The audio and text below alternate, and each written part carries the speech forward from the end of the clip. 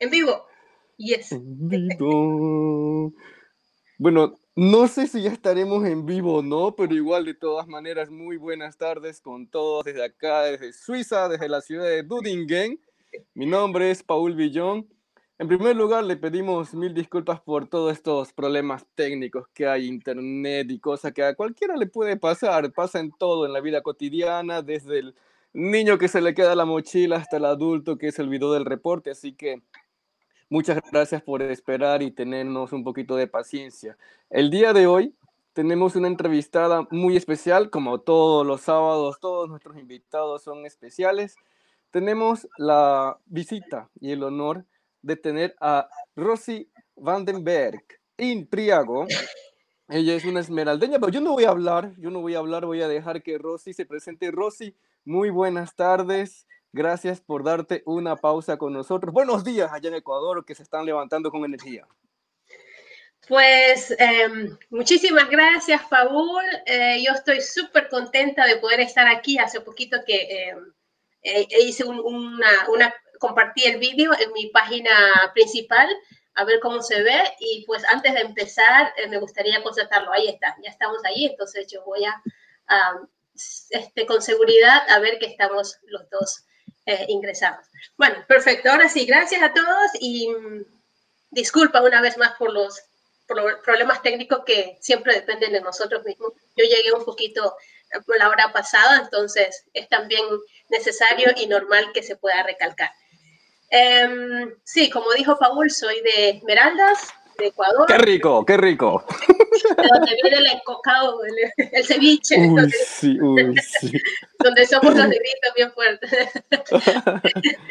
no, este, sí, de Esmeraldas, bueno, estudié en Esmeraldas, pero en realidad soy de la, de la parte sur de Esmeraldas, de, de Muisne, de una isla súper, súper, súper linda y pues con una base también de Manabí. Mi papá es eh, parte de Manabí, pues ya hace muchos años, hace muchos, muchos años que se, eh, se movió para, para Muisne. Entonces tengo una combinación de, de estos tres lugares, Esmeralda, Muisne, Manabí, pero vivo en Holanda. Eso es lo, lo, lo chistoso, vamos a decir, de la vida, porque uno sabe dónde empieza, puede tener una idea de dónde empieza, pero uno nunca sabe a dónde te va a llevar el camino de la vida. Mira, tú estuviste Así por es. Esmeralda y estás ahora en Holanda. Te cuento Sí. que ya tenemos amigos que se están conectando. Muy buenas tardes y a los que recién nos ven, mil disculpas también por, por Hola, Javier. Tenemos aquí a Glenda Rivera. Hola, ya están en vivo. Sí, Glendita, ya Sí, estamos en ya vivo. Estamos en vivo. Tenemos a Freddy Javier. Hola, nos dice Freddy, ahí con sus gafas y su sombrero. Gracias, Muy Freddy. bien. Sí. Sí, pues entonces, eh, sí, y no solo eso, pues Esmeralda yo pasé a Quito y de Quito fue que me vine para, para Holanda, pero principio, en principio no me vine para Holanda, me vine para Bélgica, de Bélgica para Alemania y de Alemania pasé para, para Holanda. Wow, bueno, vamos a hablar todo eso porque está muy interesante y como siempre decimos, número uno, este Sí. espacio es para darnos una pausa de todo lo que estamos eh, pasando con esta situación. Número dos es para que la gente tenga una idea de lo, de lo que pasa una persona para lograr el objetivo. A veces uno dice, bueno, qué bien, lo ha hecho y la felicito, pero no tiene la idea o no sabe realmente lo que toca pasar, vivir, sacrificar para Sí. poder llegar hasta donde estás. Y falta todavía porque la vida no se acaba aquí. Ah, Y ese pues, es el objetivo de, de estas transmisiones. Te cuento que tenemos a Freddy Javier Esmeraldas, tierra hermosa. Allá en cualquier lugar que comas todo es rico. Las esmeraldeñas Sí, son hermosas. las De esmeraldeñas sí. bien fuertes, ¿eh? Bien fuertes, sí, de verdad. Te cuento que también tenemos a Jorge Javier Argüello Loor. Saludos desde la península, mi bella península. Un saludo para allá. Hola para la península. chéverísimo ver semana a semana una pausa. Muchas gracias a, a ti también, Jorge Javier Argüello. Tenemos Sí, a Glenda Rivera. Súper, saludos chicos. Te comento, les comento a, la- a las demás personas que eh, esta semana eh, hay unos chicos también que se están, unos amigos míos que se están motivando también a hacer transmisiones. Luego de eso también vamos a hablar con, contigo. Y uno de ellos eh, está haciendo un programa que se llama Sin Filtros. Lo pueden buscar en la página, en, en Facebook, Sin Filtros. Y este espacio es un espacio en el cual se toman tepas, se, se topan, se toman, se topan temas que son hasta cierto punto tabú, se los habla sin filtro, pero con todo respeto igual porque es una audiencia. En la semana pasada se habló de los mitos y las, las verdades de la homosexualidad. Muy interesante. La gente oh. compartió todo bien con respeto igual. Y el día de hoy, a las siete y media de la noche, si bien me acuerdo, igual lo buscan sin filtro, van a hablar sobre las relaciones tóxicas. Entonces, si tienen ahí a su tóxico o a su tóxica y quieran compartir en anónimo, obviamente le envían ahí al chico para compartir todo este tema de sin filtro. Es tiempo, ¿eh? Es tiempo de la comunicación sin miedo, sin nada que nos detenga, que todos somos seres humanos para ser escuchados. Sí, aquí tenemos a Yolanda, Yolanda Terán. Buen día, saludos desde Guayaquil. Lindo programa. gracias, señora Yolanda Terán. Muchas gracias. Eh, Rosy, coméntanos, ¿cuál fue tu primer trabajo? Porque queremos llegar desde tu... Siempre preguntamos, ¿dónde empezaste trabajando? ¿Cuál fue la primera experiencia donde ganaste dinero? Porque ahora estás por acá. Entonces, para saber, wow, comenzaste aquí y vas por acá. ¿Cuál fue tu primer trabajo? Bueno, mi primer trabajo, vamos a decir, a llegar acá te refieres, o, estando en Ecuador. Estando en Ecuador, el primer trabajo, estando en Ecuador. mi, primer, mi primer trabajo fue eh, estando en la universidad en Quito, porque en Quito estuve dos años en la universidad y de pronto, por medio de unos conocidos, pues fui a trabajar en un café internet en la, en la calle muy conocida que es la Amazonas. Ah, sí, sí. Y, ahí trabajé unas que otras horas, pero fue algo temporal, o sea, no fue nada de trabajo a trabajo, vamos a decir, no, no tuve en Ecuador. Me vine a los 21 años, o sea, 21 años cumpliendo acá 22. Y pues eh, como trabajo no lo veo, más bien fue como una práctica, como algo para... Para sustentar, para, tener algo de ingreso. Sí, sí, pero no fue trabajo, el trabajo lo hice acá. sí, pero bueno, eso, eso es lo lindo de, de, la vida, de compartir todas estas experiencias, porque muchas, mira, te, te, lo comento yo, yo no soy el entrevistado, pero mi primer trabajo fue seleccionando camarones en una camaronera, y mira, estoy por acá, pero bueno, es, yo no, pero es la idea, es la idea de tratar de ver dónde empezó la gente, porque hay veces que las personas piensan, no me gusta esto, no quiero trabajar de, de, en este lugar, pero es solamente el inicio. No se sabe y depende mucho de ti, de las personas, hasta dónde quieras llegar. Bueno, este, también depende mucho de donde nos hemos criado, el ambiente de donde nos, hemos criado, nuestros padres y nuestras costumbres, depende mucho de, eh, o sea, cómo nos podemos desarrollar después. O sea, em, porque el trabajo de una u otra manera las personas un día lo va a hacer.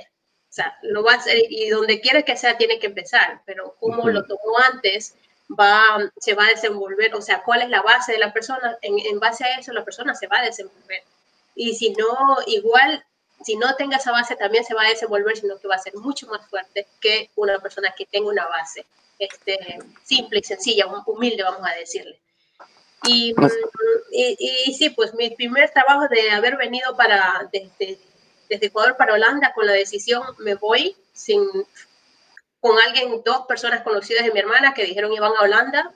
Y, sí. y justo, justo a eso, perdón que te interrumpa, justo a eso que yo quería llegar, porque tú eh, nos comentaste que estuviste en Esmeraldas, para las personas que recién están viendo, naciste en Esmeraldas, viviste en Esmeraldas, luego pasaste a Quito, tu primer trabajo estuvo, fue en un cyber, y de ahí cuéntanos, sin llegar a detalle, aquí no estamos para juzgar, ¿Cómo fue que decidiste irte a España? ¿Es que tú fuiste de la generación del 99-2000 que se fue o fue un poquito más o fue antes? En el 2000, en el 2000 me vine, en el 2001 y no me vine para España, me vine para Holanda. para, para, para, directamente. Ah, directamente a Holanda. Sí, sí. Sí, sí, este, desde muy, muy pequeña siempre he sido curiosa, muy curiosa y desde los 12 años tuve la libertad gracias y al mismo tiempo la dificultad y, al mismo tiempo le digo gracias a la separación de mis padres. Entonces yo tuve la libertad desde los 12 años de decidir prácticamente por mí misma cuando vivía con, mi, con una hermana como tres o cuatro años mayor. Pero ella trabajaba todo el tiempo, entonces a mí me tocaba decidir muchas cosas por sí sola. Desde ahí yo este, em, tomaba decisiones solas y siempre eran apoyadas por mis padres, pero uno por un lado y el otro por otro lado.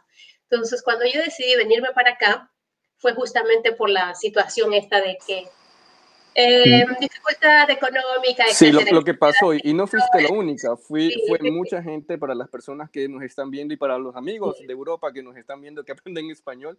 En el 99 hubo una crisis económica fatal en Ecuador, fue algo que marcó un antes y un después de la historia y mucha gente salió del país. ¿Fue tu caso, Rosy, y mucha gente por la facilidad del idioma se fue a España. Otros se fueron a Italia y otros se fueron a Estados Unidos, pero tú te fuiste a Holanda, cuéntanos. sí, mira, yo... ¿por qué Holanda? ¿Cómo? Sí, mira, yo honestamente em, no tenía esa situación de dificultad em, económica, más bien era, fue la separación de mis padres la que me, la que me impulsó a mí a, a desarrollarme independientemente. Ya, o sea, había la discusión entre ellos, entre la separación y todo lo que es lo de aquí, lo de allá, etcétera, no para entrar en detalles, sino que yo dije, ah, no, yo quiero ser independiente, quiero poder tener eh, mis propios ingresos, poder pagarme mis propias, mis propios, este, este perdón, mi pelo está acordando para acá. Independiente, al 100%. Independiente, sí, totalmente independiente. Y dije, ¿cómo lo hago? ¿Cómo lo hago? bueno, total.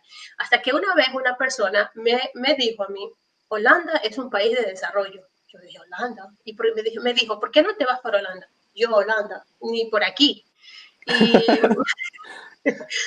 cuando empecé a trabajar en, en, el, en, el, café internet en Quito, yo conocí mucha más gente, mucha más gente y, tuve contacto con diferentes eh, extranjeros desde, desde Estados Unidos, desde Holanda, mucha gente de Suiza, pero siempre estaba curiosa, ¿qué es? ¿Cómo es? Siempre estuve preguntando. Incluso antes, cuando yo era muy pequeña, en la finca de mi, a la finca de mi papá venía mucha gente extranjera desde, desde Italia y yo siempre estuve curiosa de saber quién, qué era Italia, qué era Alemania, pero desde muy pequeña. Y nunca pregunté, sino que se quedó eso conmigo y eso fue como que fue resonando, fue resonando hasta que tuve la, la, la facilidad de que alguien, una amiga, amiga de mis hermanas, dijeron, eh, nos vamos para Holanda. Yo dije, a Holanda y le, les pregunté, ¿me puedo ir con ustedes? Y solo nomás este, hasta que me contacte con una amiga, entonces ahí yo me des, ustedes se deshacen de mí y yo me voy sola. Y me dijeron, ¿tú estás segura? Le digo, sí, yo quiero ir con ustedes. Al final dije, pues ya vivo en Quito, ya vivo sola, he vivido mucho tiempo prácticamente sola, ¿por qué no me puedo Querías un paso más, al probar algo más. Y me parece muy interesante porque de todas las historias de, en que se hacen en una pausa, se aprende algo. Lo tuyo fue increíble. Trabajaste en un cyber y, fue la puerta que te permitió para irte a otro, a otro continente. A otro continente. los contactos, todo eso también, dime. Sí, el contacto, o sea, eh, al principio cuando yo llegué, aquí, este, fue un poquito, como todo, creo que a todos les pasa, un poquito complicado porque no lograba encontrar a mi amiga, no lograba encontrarme ni conectarme ni con mi amiga, ni con otros amigos, ni con nadie que conocí hasta que tanto y tanto fue un café. ¿Cuánto tiempo te demoró? Te porque si bien, bien entendí, o sea, tú, una amiga de allá te esperaba y tú te ibas a donde tu amiga o te iban a contactar de allá. Si yo me contactaba aquí con ella, yo le dije, cuando yo esté ya, yo te aviso. Pero yo tenía los números y el correo electrónico eh, en los números equivocados, había escrito mal. O sea, cuando yo intentaba acá oh. contactarla, este, yo decía, Dios, ¿y ahora cómo contacto con mi amiga? Ni con el uno, ni con la otra. Y decía, Dios mío, ¿ahora cómo hago? Ahí se Perdón que me ría, pero, pero o sea, trato de verlo, verlo de una manera No, pero es que está bien, porque es que esa, fue la experiencia. En ese momento era difícil, porque, y, y, las amigas de mi hermana me decían, vete a España, que España es fácil. Yo decía, pero ¿a, qué voy a ir a España? Yo quiero aprender algo nuevo, algo diferente, que no sea el español, ya sé el español, el español quiero algo nuevo. Y entonces, tanto y tanto me fui a un, a un café y, me puse a buscar mi correo electrónico y lo encontré y ahí encontré los, los emails de, mi, de mis amigos. Em, y fue por, por, ese medio que contacté con ellos y al mes, desde Bélgica, me vine para a Holanda en un tren. En un tren con un mínimo de ingresos, o sea, pero, o sea como lo justo solo para el pasaje, porque todo el dinero, lo que en ese tiempo se utilizaba como bolsa para regresar. ¿Y, ¿Y, cómo fue ese mes, sin llegar a detalle, cómo fue ese mes en el cual tú, tú viste la diferencia de precios, porque una cosa es comer en Ecuador a un dólar cincuenta en nuestros tiempos, y creo que ahora está a 2.75, 3 dólares el almuerzo, y, pero en, en, Europa es 10 veces más, 15 veces más. ¿Cómo, ¿cómo, reaccionaste a eso? Es que, en ese, es que en ese tiempo no fue solo eso, es que una vez que yo eh, llegué aquí, eh, tuve que enviar otra vez ese dinero de vuelta, que era la bolsa, lo que se le llamaba en ese tiempo, ¿no? Y me quedé sin nada pero sin nada, así, sin nada de dinero, nada, nada. Entonces, totalmente en cero. Entonces, ahí a las chicas que tenía, tenía un bebé, yo le dije, mira, yo te cuido tu hijo y pues aquí me quedo hasta que me, contacte con mis amigos. Y, me, y así, así pasé cuidándole al niño mientras ellas trabajaban, cuidando, llevándole la, la, niña a la escuela mientras ellas trabajaban y hasta que les dije, bueno, ya me contacté con mi amiga y pues me voy para a probar en Holanda, a ver cómo a encontrarme con ella. Pero yo me vine para Holanda solo con un poquito de ropa pensando que iba a regresar a, a Bélgica. Y no fue así. Yo me, vine para aquí a Holanda y mi amiga... Y ya tienes 21 años en Holanda. 20 cumplo ahorita en octubre. Ah, perdón, 20, wow. Sí, entonces, y fue así como, como me vine con un librito, de, porque no, o sea, tú sabes que el idioma que de, de inglés que se, que se estudiaba allá, pues era básico. Entonces, cuando yo llegué acá, pues dejabas hablar en inglés, sí, un librito de traducción desde Bélgica hasta, hasta, hasta La Haya, hasta aquí donde yo vivo. Y ese era. Y con las indicaciones que me dieron, pues tomé el tren y llegué a La Haya y ya me encontré con mi amiga que se llama Alexandra desde Quito y con, por medio de ella, pues vamos, a, empecé a cuidar los niños, a limpiar las casas, a, este, a estudiar, muy bien, a estudiar el inglés, después de tres meses. No le digan a nadie que Holanda no escuche, pero estuve clandestina tres años, porque si se, entera me votan ahorita. no, mentira. Pero no, pero sí. como te dije, e, estos espacios no son para juzgar, son simplemente para, simplemente, son más que nada para aprender y me parece, escuchando tu historia, que eres una mujer muy decidida y que no se sienta a lamentarse, porque estuviste en Bélgica y no encontrabas a tu amiga, no contactabas a tu amiga y durante un mes mucha gente hubiera, se hubiera desesperado, mucha gente se hubiera regresado o mucha gente se hubiera ido a España por la facilidad del idioma.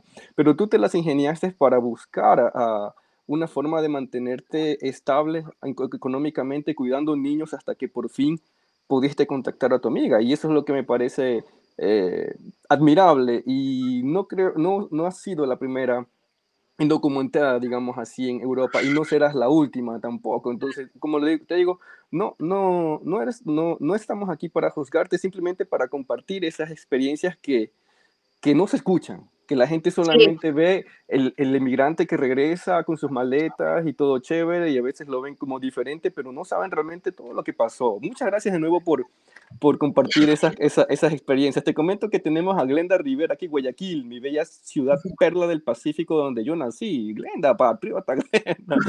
Tenemos aquí a Charlie Sarmiento. Saludos a todos. Paul, de pronto para tu audiencia europea y a quienes interese conocer más detalles de la crisis del 99 y cómo se llegó a dolarizar la economía, aquí comento brevemente el tema.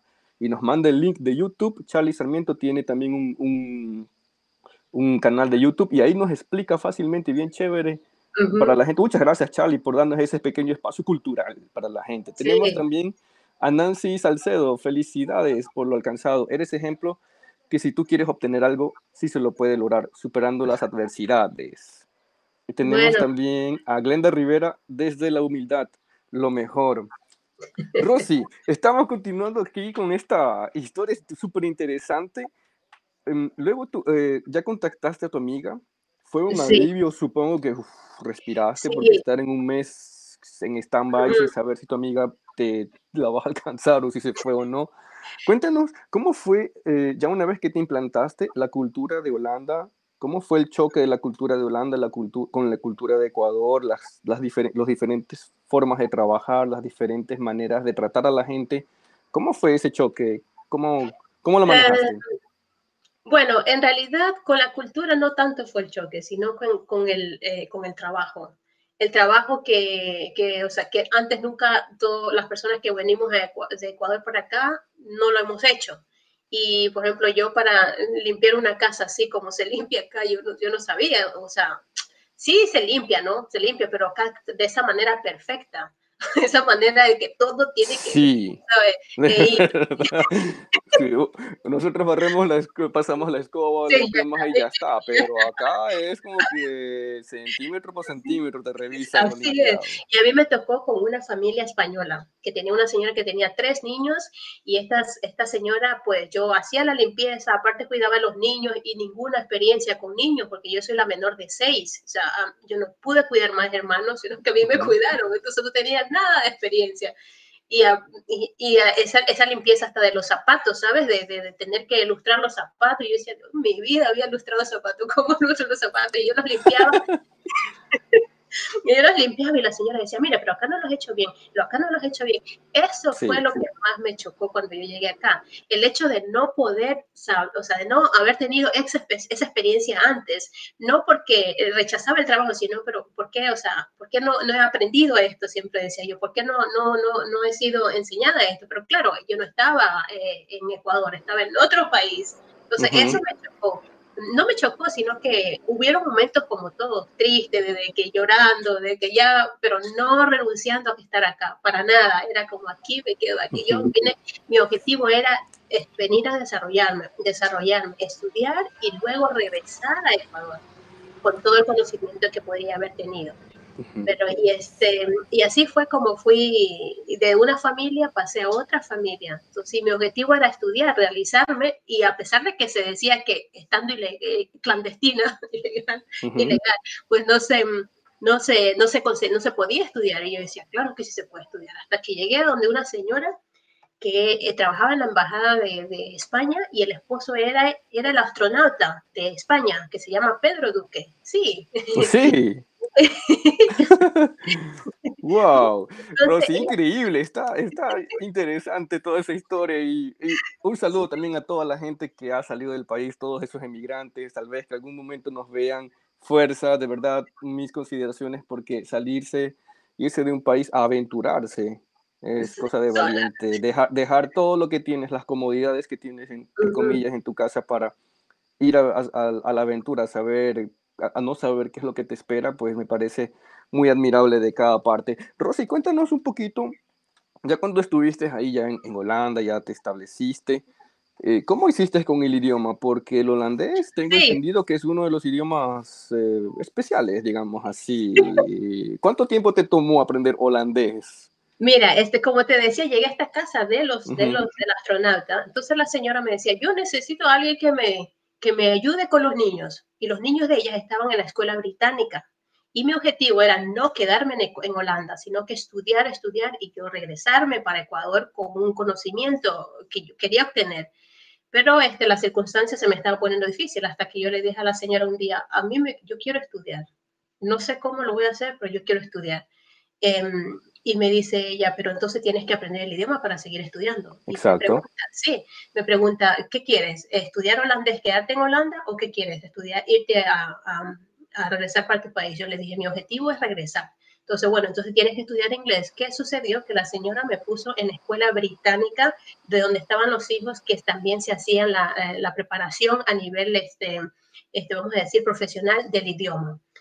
Entonces, como yo le digo, bueno, está bien, a mí me encantaría hacer eso y yo le pago con el trabajo que hago con los niños. Y así fue, hicimos un intercambio. Yo, les, yo le ayudo y usted me ayuda. Así. Ah, bien. Sí. Parece bien, es la actitud. Muchas cosas, la, actitud ayuda a muchas cosas. Y aparte, nosotros los ecuatorianos y los latinos, digamos así, tenemos ese don de negociar. Aunque ya, así, y en Europa no hay ese negocio como que es esto y es esto. Nosotros tenemos como Sí, pero ya, y, si yo hago esto, compensamos. Sí, es verdad. Y mira que, ¿qué es lo más importante en, un, en, un, este, en una inmigración y en cualquier situación? Es comunicar lo que se desea, comunicar lo que se quiere. Porque la otra persona, si la otra persona necesita, en este caso yo me veo así, si ella necesita de mí y yo necesito, nos podemos ayudar mutuamente.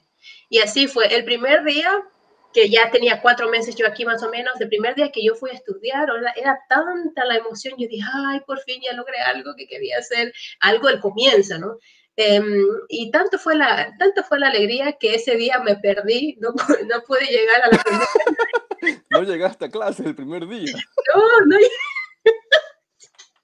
no No, eres la única, déjame decirte. Yo creo que mucha gente que está viendo esto se ha de haber perdido intencionalmente o se ha de haber perdido a propósito también, pero no haber ido a clase. Así que comenten también quién no se ha ido a clase.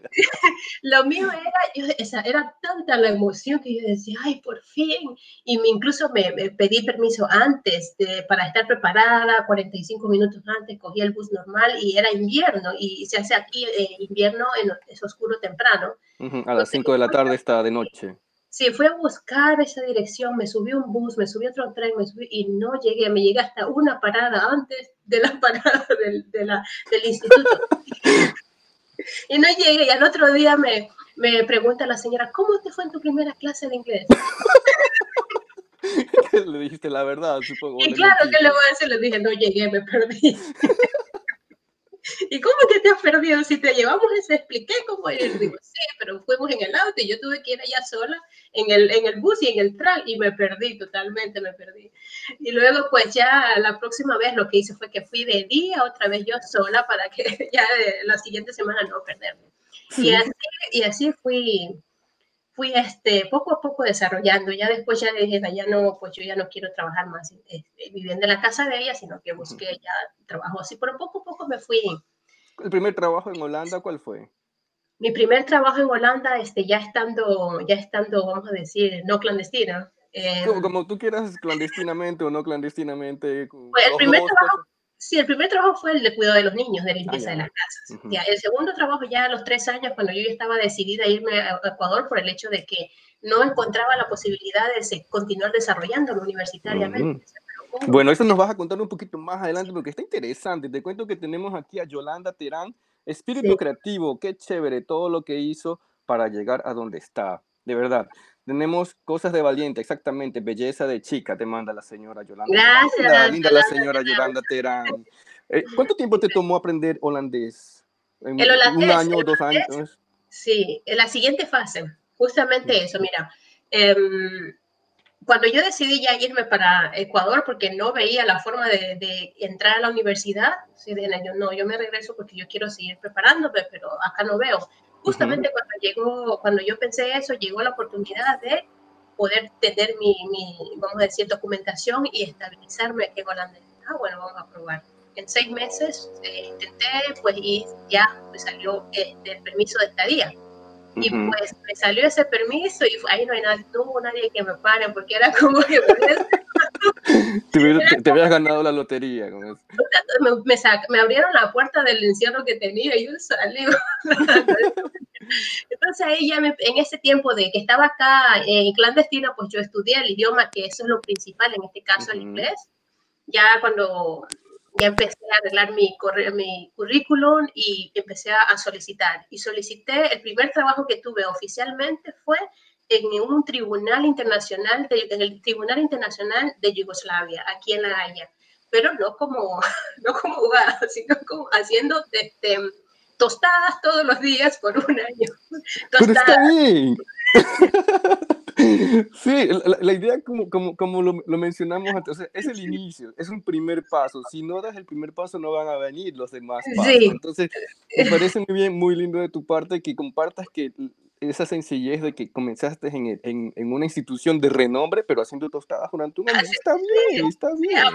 aprendí, a hacer los mejores tostes, que se llaman aquí los mejores tostes, y para gente diferente de todo el mundo, porque en ese, en ese tribunal había gente de todo el mundo y todo. Claro, y, y, eso te ayudó también a mejorar el idioma, porque ya tenías un contacto, ya tenías un, un, una, un contacto de, con el idioma, pero laboral, no es el mismo el contacto con tus compañeros de clase que están casi en el mismo nivel, ya tenías que, la realidad, lanzarte a hablar el idioma. Sí, así fue, entonces fue en, inglés, claro, y lo que me sirvió fue el inglés que yo había aprendido en mi tiempo de, de todo imposible. y, este, y fue ahí, pues ya estando ya aquí, vamos a decir, este, legal, entonces ya tuve la oportunidad de hacer la, aquí se le llama un, un curso de integración, que es de un año y medio, que se le llama aquí el Inbulgering Cursos, curso, de, curso, de, integración, donde se aprende el idioma, la cultura, ayuda, de, de todo, o sea, un año y medio. Eh, en cuanto al idioma es bastante básico. Si una persona quiere continuar, pues puede seguir estudiando a, diferentes, eh, a diferentes niveles, a diferentes fases, vamos a decir. Pero yo decidí yo continuaba con la idea, pues yo no me voy a quedar acá, yo quiero seguir estudiando y, y, pues me fui trabajando en, en inglés. Ya después de un año, em, yo decidí este, terminar el trabajo del Tosti y dije, puedo hacer más, o sea que ahorita vamos a más. Eh, me fui a una agencia de trabajo, arreglé otra vez mi CV y, y me pusieron a trabajar en la, en la Oficina Europea de Patentes de aquí, Holanda. Eh, ahí tú, sí. Estás, trabajando así en instituciones fuertes, tú, sí, eh, increíble. ahí me o sea, tu, currículum es institución, ni sé cuánto, ni sé cuánto institución, pero eh, Es tu currículum, nadie te lo quita. nadie lo quita, la experiencia que nadie me quita. Y pues, y, y, en todo el tiempo que he estado acá, siempre he estado estudiando, trabajando en el día, estudiando en la noche. El idioma.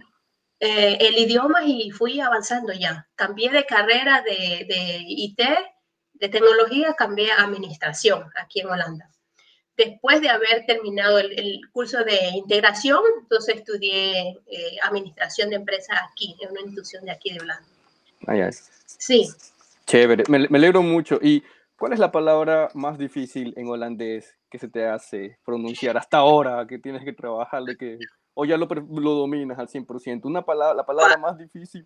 Pues sí, o sea, bueno, después, de, después que regresé, porque mi historia es todavía larga, o sea, después que regresé a Alemania en el, 2000, en el 2010, yo, yo empecé a estudiar otra vez holandés, a integrarme en Holanda.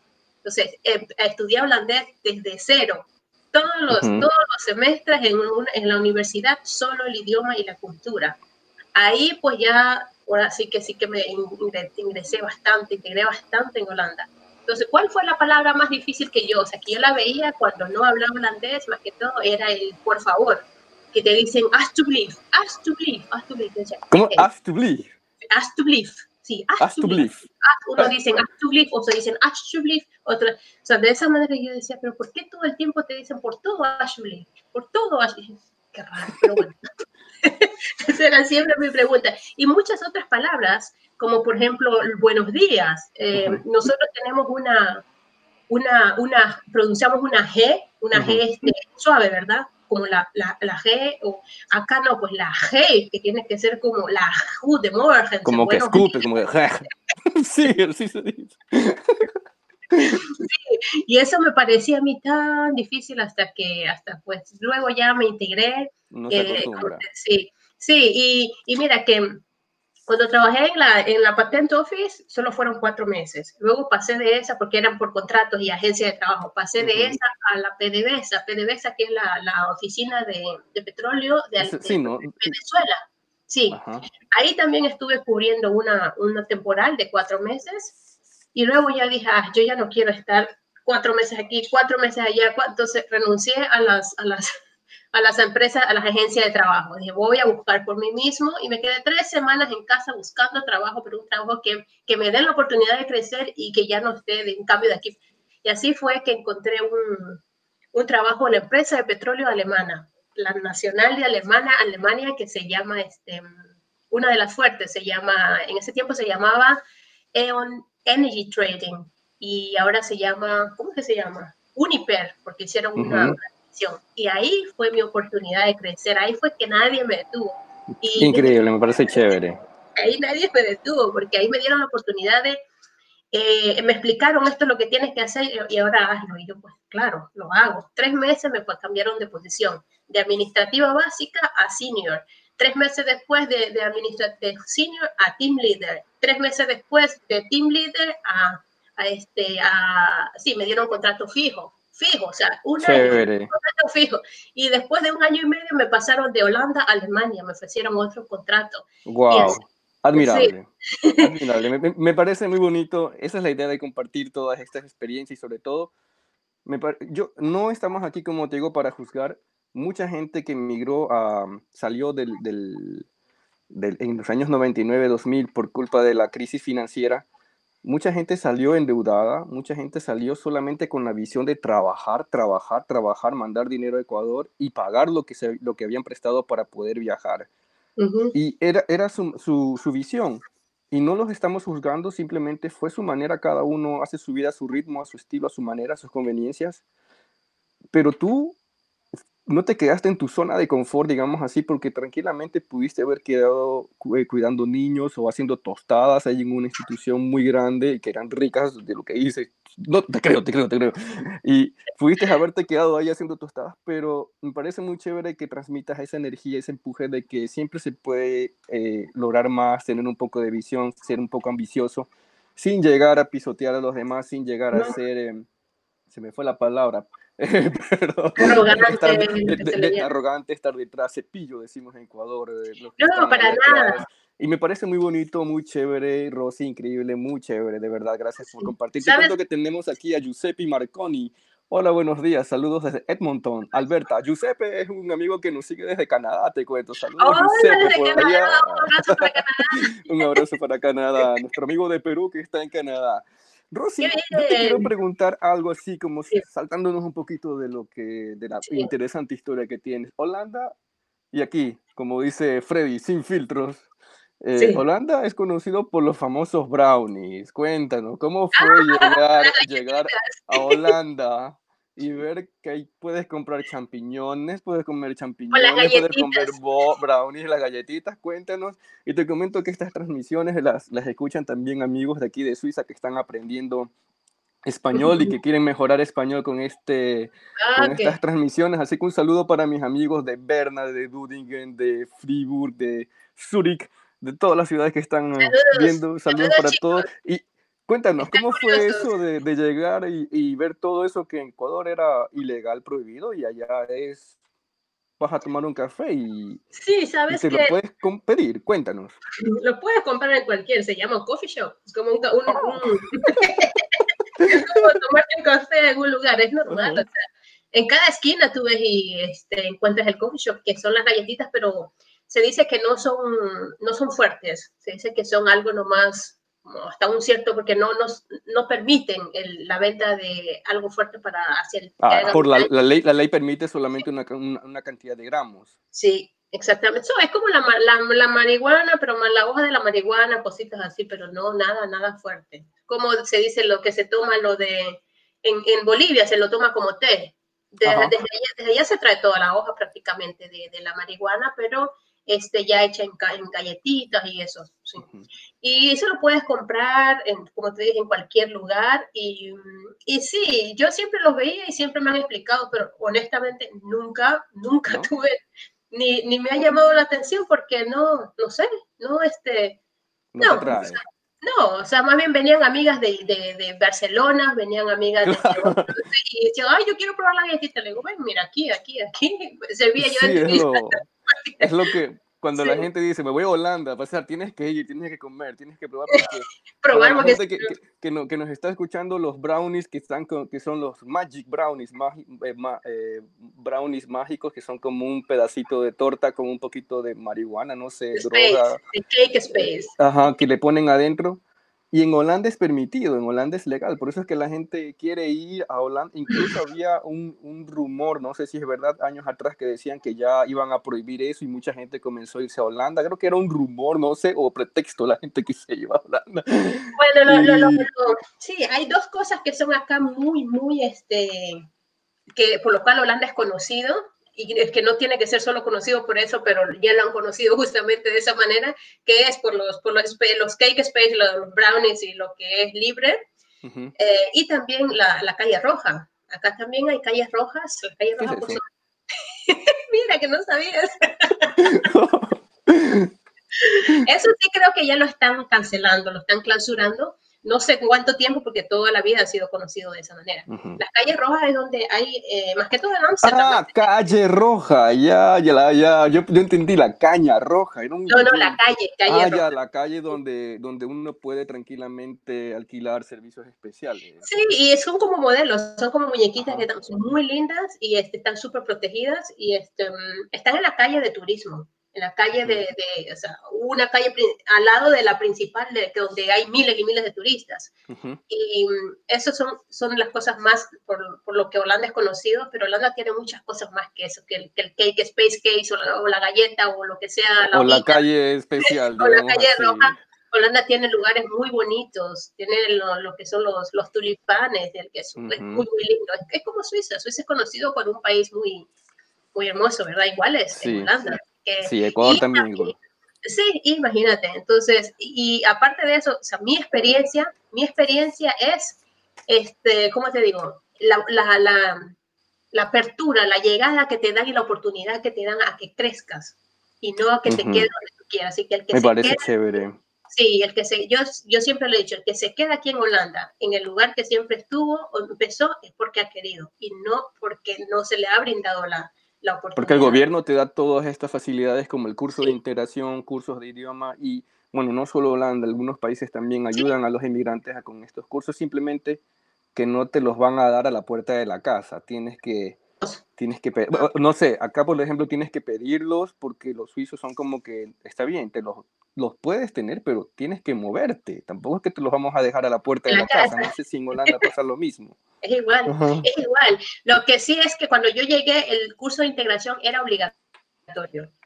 Era obligatorio hacerlo porque es que eh, eh, lo, que se, lo, que, lo que ellos quieren, y es normal en cualquier país, que la gente aporte y no que, que sea una carga, sino que aporte. Y me parece muy bien, porque así está, bien para la salud del ser humano, para, para la economía de la misma persona y también para la integración de aquí, para el aporte aquí, y no ser como más bien, un, no ser una carga, sino una aportación. Y pienso que es, es un buen método para cualquier país.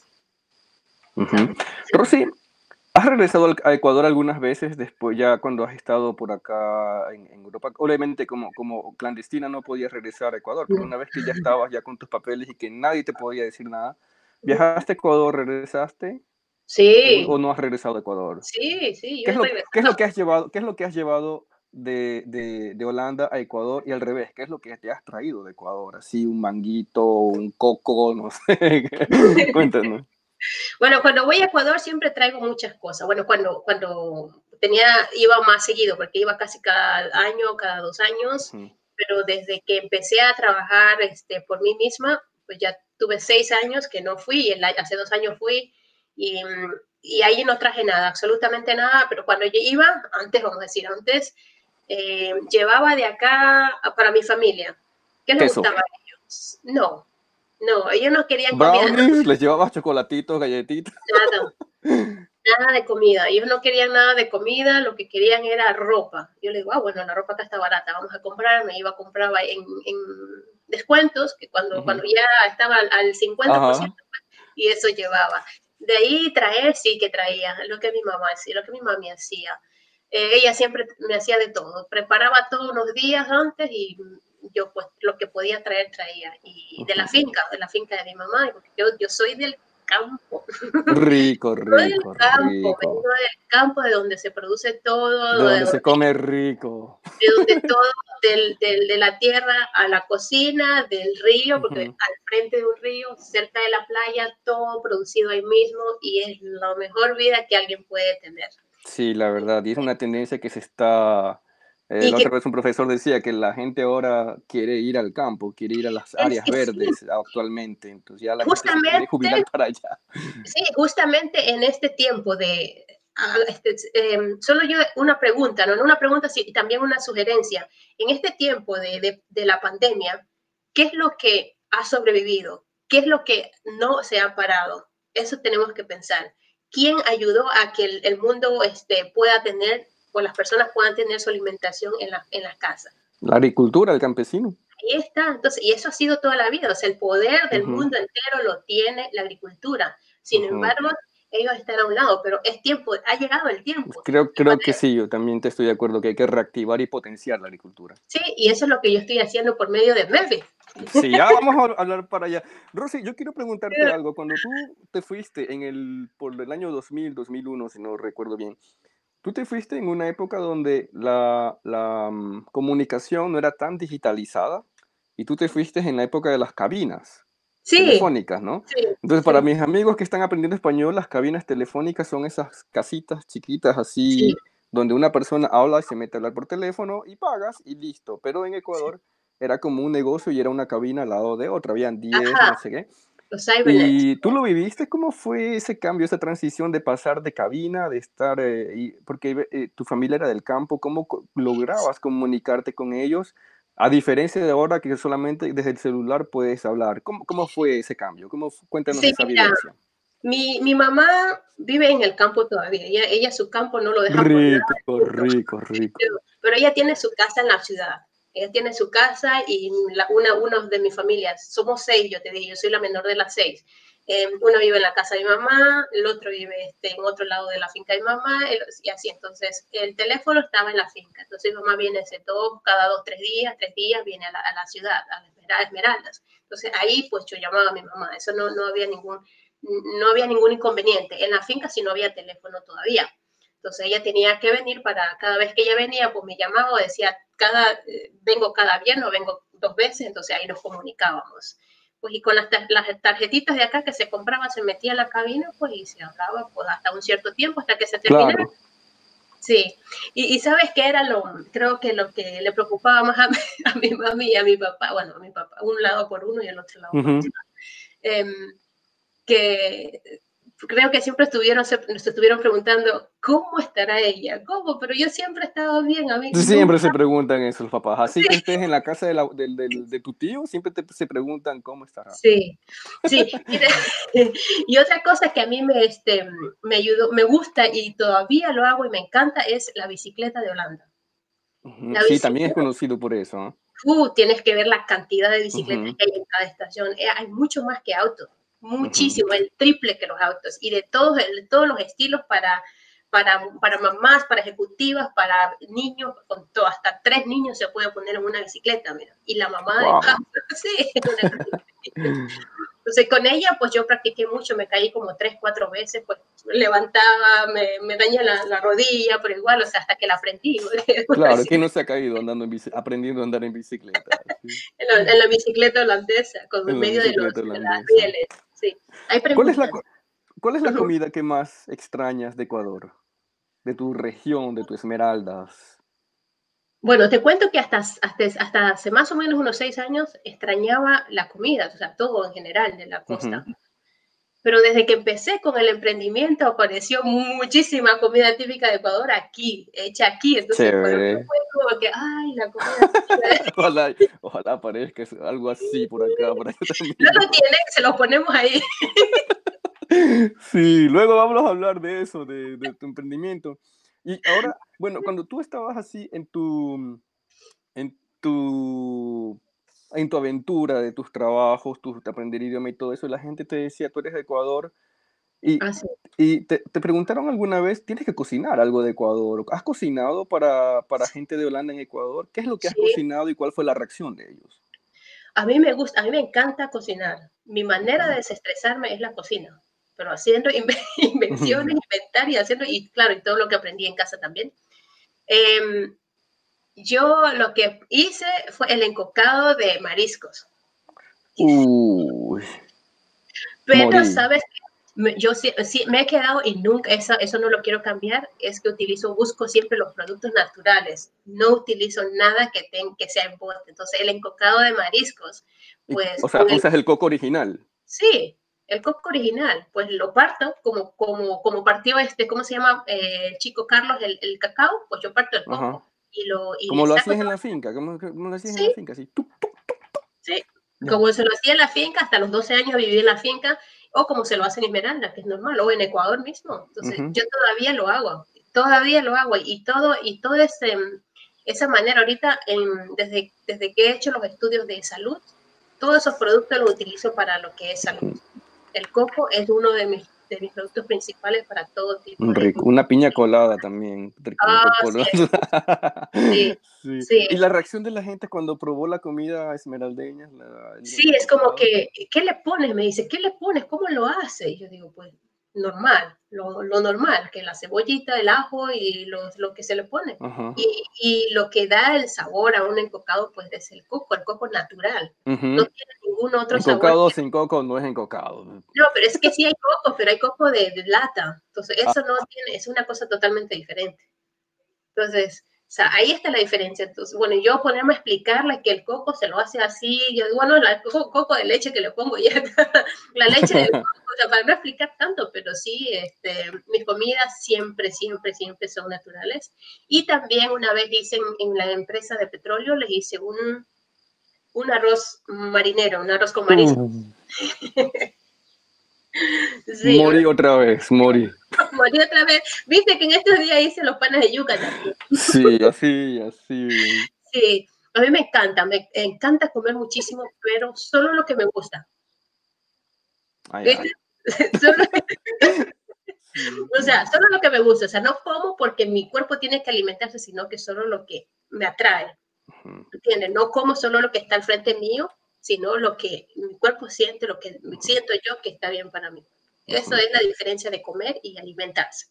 Ok. Rosy, vamos empezando a entrar un poquito a lo que es el emprendimiento, el emprendimiento Mebif. ¿De qué se trata Ah. esto de Mebif? Cuéntanos, ¿cuál es, Mebif. qué- cu- cuál es, cómo nació, qué hace y cuéntanos, mejor dicho. Sí, mira, este Mevi. Mevi es eh, un hombre, un hombre basado en una experiencia. Mira, yo no sé, creo que hay preguntas. Mira si, no sé si, a ver, mira, ¿eh? Sí, sí, seguro. Tenemos aquí a Charlie Sarmiento. La cocina ecuatoriana es, es excelente. Seguro se extraña mucho cuando se está lejos. Pero ¿cuál sería el platillo más típico o representativo de Holanda? Una pregunta, Charlie. Ni a, ni a mí se me ha ocurrido. ¿Cuál es la- el plato típico de Holanda, aparte de las galletitas y del... Eso ya no es comida, pues. Eso ya no es una alimentación. El plato típico de acá, este, eh, aquí los holandeses comen mucho lo que es verduras, lo que es el, la, la papa, la patata, como se le llame. Em, también el marisco, hay un, hay un método de, de comer el marisco chiquito, creo que son las sardinas, que la hacen como fermentadas con, con limón y con sal y luego se los come de una manera así, no sé, así, colgando Enteras, enteras. enteras y se las come así. Y eso se llama el haring. Se le llama aquí el haring. Esto es muy conocido en muchos países. ¿Es rico? Nadie, nadie, nadie, nadie se va a enterar. Si, si no te gusta, No, sí, queda sí. nosotros dos y el internet. Sí, no, no, que nadie se entere. No, sí es bueno, sí lo he comido. Y sí es bueno. O sea, es, este, si lo ves, vas a decir, uy, ¿eso qué es? Pero luego lo comes y tiene un sabor que se lo, está bien. Se lo come con cebolla cruda. O sea, que Ujú. encima del, del pescado, lo, como que en vez de ponerle harina, porque es chiquito, le ponen cebolla y se lo comen así. O así, o en medio de un pan. Pero es Luego, con todo y espinas o ya está... ya, la espina está sacada. O Ah, sea, ya. Ah, ya. demás, Ay, sí. Se lo- sí, eh. es muy chiquito. Es muy chiquito, sí, es muy chiquito y pues eso es lo más típico. De ahí lo normal, lo normal es- son muchas verduras, muchas El ensaladas. queso holandés, el famoso El queso holandés. holandés, que es muy típico, las galletas típicas que son los waffles, ¿cómo, cómo se llaman estas galletas típicas? Eh, waffles. eh, Heineken, la cerveza también es de Holanda. La Heine que tiene la fábrica aquí ¿En, tu en la ciudad donde estás? en Ámsterdam. Ámsterdam queda unos 30 Ah, minutos de acá de casa. Ya, ya, no está, no está lejos, no está lejos. Rosy, cuéntanos de ese proyecto Mebif. ¿Cómo nació Mebif y qué es lo que hace Mebif? Cuéntanos. Ok, Mevi nació después de que yo eh, prácticamente renuncié al trabajo que me ofreció Alemania, que fue, llegué a la posición de jefa de proyectos a nivel internacional de- del, pro- del producto este, oil, eh, ¿cómo se llama? Petróleo crudo y gas natural. Wow, bravo. Ese fue, yo dije, bueno, ¿qué más hay aquí? Tenía 28 años, ¿qué más hay acá? Eh, empecé a viajar por todos lados, mi esposo acá, bueno, compramos de todo, o sea, era una posición muy buena con muchos, o sea, que ya aún en esa edad que tú dices, ¿qué más hago? No sé, ¿qué más Ujú. hago con eso? Entonces me empecé a viajar, a visitar por todos lados hasta que dije, ¿es esto lo que yo de verdad quiero? ¿Es esto, qué más puedo hacer yo aquí en esta organización de mil personas y con un proyecto como este? Bueno, al final dije, bueno, quería irme para Houston a otra empresa de, de- con, la misma, con la misma conexión, pero luego decidí, dije, no, me regreso a casa, habíamos comprado, como se compran las casas acá, aquí en Holanda, con mi esposo, y dije, me regreso a casa, pero a casa, aquí Holanda, y decidí, pues, en ese momento, empezar una familia. Y fue después que estaba como en búsqueda y no sabía qué, en búsqueda de qué es lo que quiero ahora. Bueno, ya tengo un niño, entonces hay que tener más responsabilidad. Estuve como seis meses en casa sin trabajar, sino que con, o sea, con la ayuda de, de la, la empresa me pagó seis meses.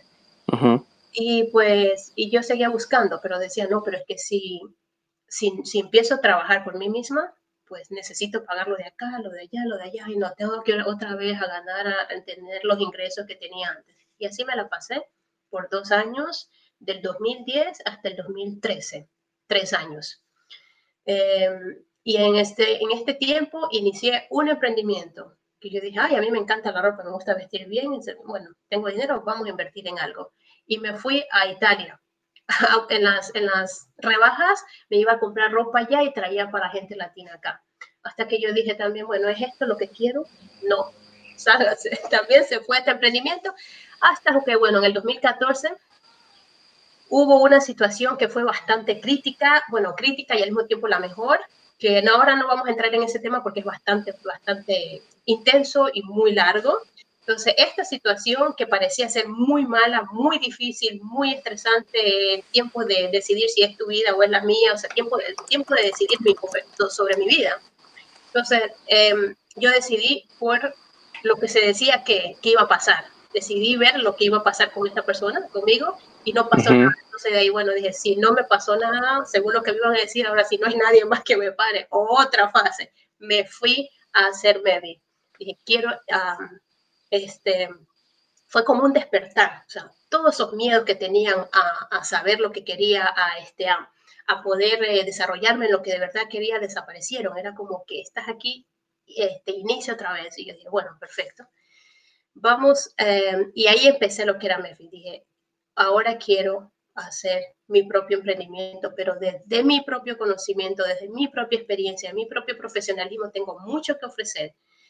Y lo hice y dije, y lo, me deseo hacerlo en español para la comunidad de habla hispana. Em, Qué lindo. Y antes mis miedos eran, y mis decisiones eran irme a Ecuador para hacerlo desde allá. Pero cuando pasé por esta situación, que fue un año y un mes, ahí fue, te digo que fue como un despertar y fue como que aquí lo tienes todo, Rosy, aquí tienes todo, o sea, empieza, empieza. Y yo, claro, este es el lugar, este, nada es, esto de acá, tenía miedo acá, o sea, todo lo que parecía que era miedo, en ese momento se desapareció, o sea, fue como un renacimiento prácticamente. Y ahí empezó Mefid. Yo este, no conocía mucha gente de habla hispana, pero conocía a una chica de, de ella es de Cuba, y es una, una profesional en, la, en, el gimnasio, en el baile y todo. Y conocí a ella mucha gente de habla hispana aquí. Y yo le dije, mira, Mati, Mati se llama, tiene ahorita una escuela de baile acá. Le digo, mira, yo deseo, hacer algo y necesito reunir a mucha gente en mi casa para, este, como una fiesta. Y, y ella empezó a invitar a todas sus amigas Ah, chévere. Sí, y le dije, no traigan nada, solo traigan las ganas de, divertirse y el positivismo. Quien quiera que sea que venga. Llegaron unas 20 personas de diferentes nacionalidades de habla hispana. Y ahí empezó Mebe. Pero yo ya antes, un, año, seis meses antes, yo ya había decidido mi proyecto. Solo que tenía que buscar... Eh, ¿Cómo ejecutarlo? Sí, cómo ponerlo en práctica. Entonces, y decidí por la, por la comunidad de habla hispana. Y así empezó. ¿Y de qué se trata, Mebif? Baby se trata de desarrollo, del apoyo em, de desarrollo al emprendimiento y eh, al apoyo al desarrollo y emprendimiento de habla hispana aquí en Holanda, que ahora ya no es solo aquí en Holanda, sino que se está haciendo en diferentes países por medio de las redes sociales. Entonces, y eso se creó en base a la investigación que yo hice, que es mi trabajo de investigación en biociencia de la salud, se creó el, este, la fundación. ¿ya? Entonces, em, con esa fundación estuve trabajando, vamos a decir, de una manera informal por cinco años, vamos, o cuatro años más o menos, hasta que esta, esta, vamos a decir, este proyecto se hizo tan grande, o sea, era tanta gente que yo dije, ahora yo cómo hago todo esto tan, tan grande yo sola. Bueno, vamos a ver cuál Salieron los latinos donde no había, entonces llegaron de todos lados. Porque la idea de lo, de lo que entendí, o sea, dan como asesoramiento, como guías para las personas que tienen un pequeño negocio, un emprendimiento de, la, de América Latina. Entonces, no es decir, si, yo, si yo tengo un, qué sé yo, o una amiga tiene un salón de bellezas, ustedes la asesoran, la guían, la ayudan. Sí, no tanto que ya lo tengan, sino que tengan una idea y que quieran desarrollarla. Ah, chévere. Que tengan una idea y digan, esto me gustaría hacer y no sé cómo, entonces vamos a hacerlo. Eh, vamos a hacer plan, vamos a, este, a, empezar siempre por la fase cero, aunque ya está, ya está puesto y no saben cómo, por ejemplo, hacer el marketing, siempre se empieza por la fase cero y que es un, es un, es un método de estudio que nadie lo tiene, al menos otra, por otro lado nadie lo tiene porque fue mi idea que lo empecé yo mismo justamente cuando empezó todo. Y este, entonces hacemos el trayecto de la fase cero eh, en apoyo a las diferentes en, las diferentes, en los diferentes temas de comunicación, de explicación, o sea, de, de, interactuar.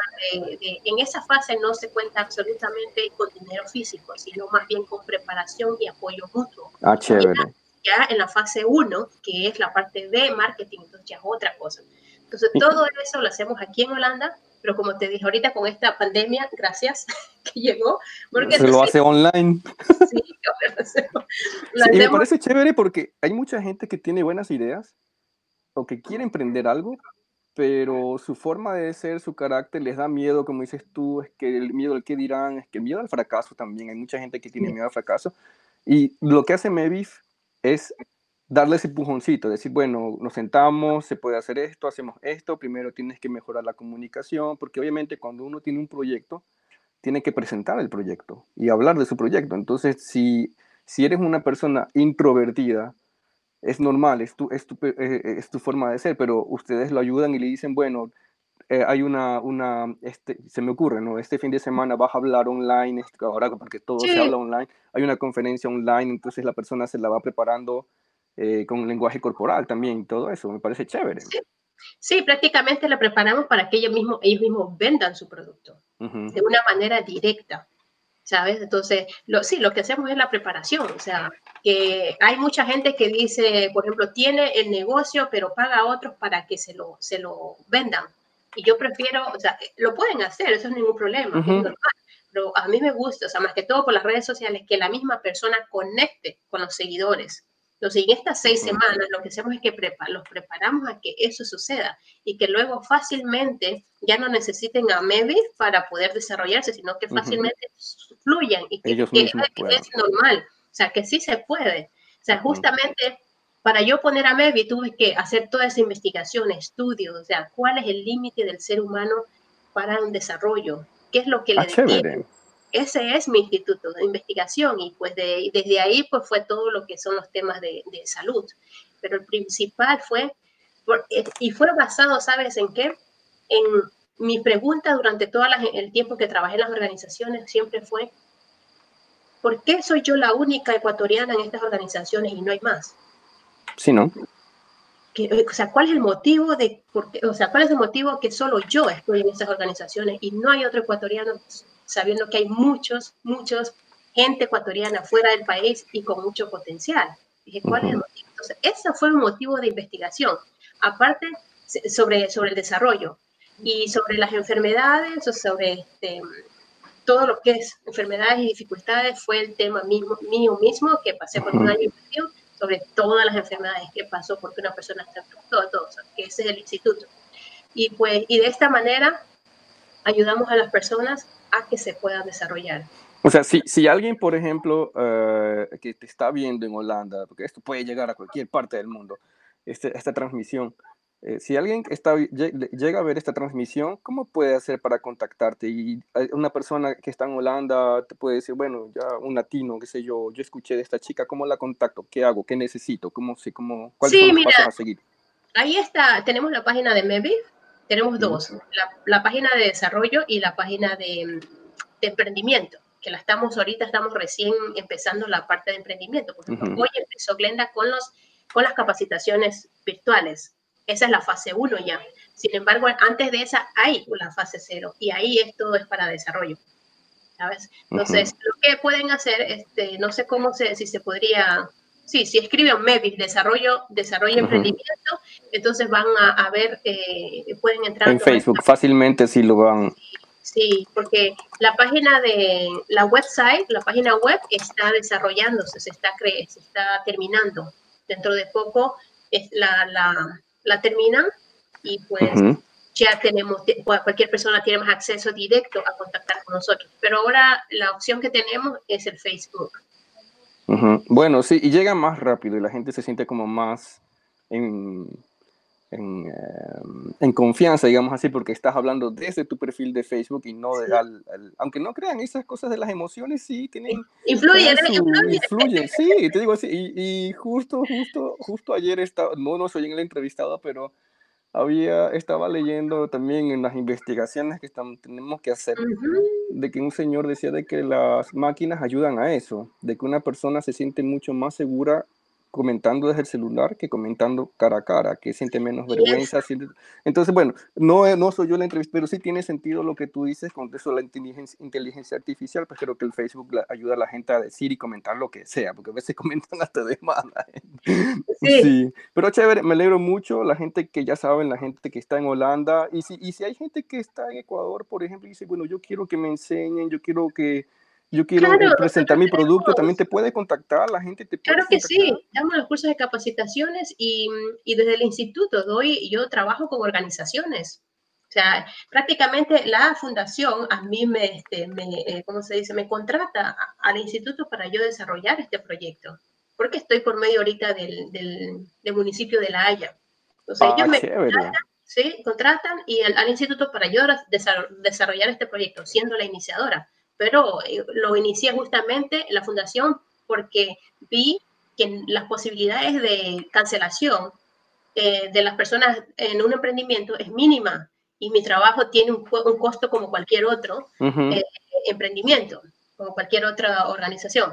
Entonces, ahí fue que decidí conectar con el municipio. Entonces, el municipio me, cubre un 75% y los emprendedores un 25%, que es un mínimo, porque el, de, el, el proyecto es desarrollo y emprendimiento. Claro, obviamente.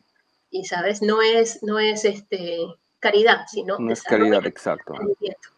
Y aquí ya después podamos crear algo para ayudar a los niños, a otros de otra manera. ¿Por qué no? Pero las principales personas tienen que desarrollarse. Y uno de los desarrollos principales es la comunicación, chicos. Si ustedes quieren desarrollarse como Rosy, no tanto como yo. Mucho más, ¿por qué no?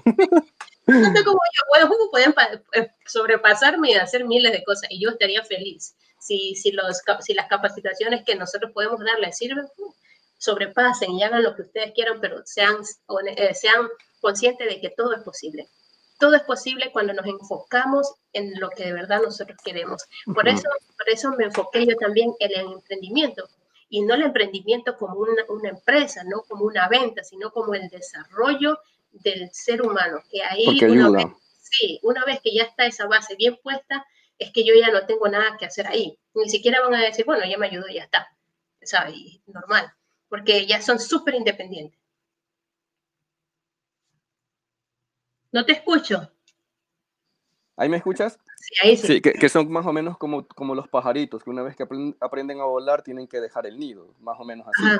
Sí, o sea, que, o sea, que sepan que su base está fuerte y lo demás se sigue. A mí, a mí me satisface ver cómo la gente se desarrolla. Chévere. Me alegro. Me alegro mucho, Rosy. Hemos, estamos llegando a la parte final de esta transmisión. Me encanta, me reí mucho, me encantó tu, tu historia.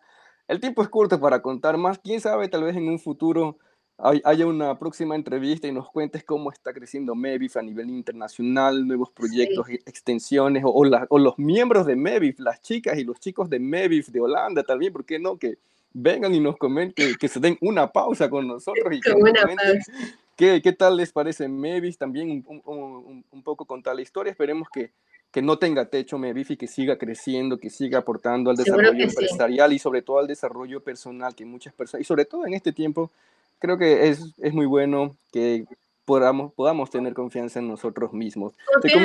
Sí, en todo emprendimiento y en cada cosa que nosotros queramos hacer, lo que vale es la confianza en nosotros mismos. que, va, que estén los pensamientos ahí y que qué pasa si, si, si hago esto, pues que estén, no pasa nada. Confía que lo que se va, lo que se está haciendo es porque quieres hacerlo y que tus pensamientos, lo que sea, que te digan que, eh, que pasaste lo que pasó y que, que, puede pasar lo que puede pasar, no, que no sea eso lo que influya, sino que actuemos. La actitud es lo que cuenta. En cada momento, no mañana ni ayer, sino en cada momento. Eso ahora. Es, aquí y ahora. Ese es el lema de mi lema para trabajar aquí y ahora. Y es actitud. No tiene nada que ver con nada, sino que es justamente con la actitud de cada persona. Así. Te comento que otro amigo que también eh, tiene su, su espacio en, Facebook, él, él tiene un, un, espacio, una página que se llama De Emprendedor a Emprendedor. Mm, eh, síganlo también, porque, ¿por qué no? Él está en cambio promocionando eh, a, las, a los negocios que, que, que se han quedado en, en, en, pausa, digamos así, debido a esta pandemia, porque el pequeño empresario tiene igual facturas que pagar Y ahora que, que, están saliendo, que están haciendo entregas por medio de bicicleta o por carro, la gente no sabe realmente qué es lo que está haciendo el vecino como emprendimiento. Entonces, de emprendedor a emprendedor con Jorge Argüello, él entrevista así a los emprendedores, pero para que den a conocer qué es lo que están haciendo y, y la gente pueda llegar y decir, ah, ya, eh, e, este señor está vendiendo, qué sé yo, ropa de niños, esta señora está vendiendo, em, qué sé yo, zapatos para bebés y de una manera que se pueda conocer ahora de manera digital lo que la gente está haciendo para apoyar al microempresario. Es eh, de emprendedor a emprendedor, es de lunes a viernes y es, mm, está más enfocado, bueno, recién está empezando, va a crecer, eso no lo tengo duda, y está con la península de Santa Elena. Yo ah, te, te, te, quiero agradecer nuevamente, Rosy, por haberte dado una pausa con nosotros. Espero que te hayas divertido, los amigos que también comentaron y vieron y que van a ver esta transmisión después, eh, ya en diferido. Muchas gracias por darle me gusta, muchas gracias por compartir, muchas gracias por comentar.